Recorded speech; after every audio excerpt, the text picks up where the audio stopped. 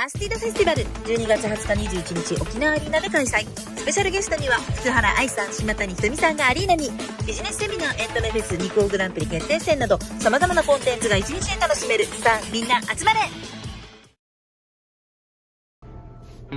どうも、島谷ひとみです。12月20日に沖縄アリーナで開催されます、アスティードフェス、こちらに私も出演させていただくことが決まりました。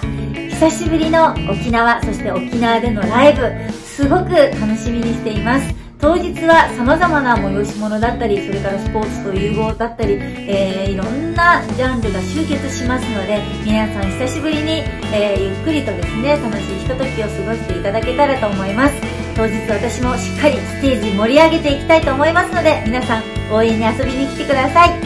それでは12月20日にお会いしましょう。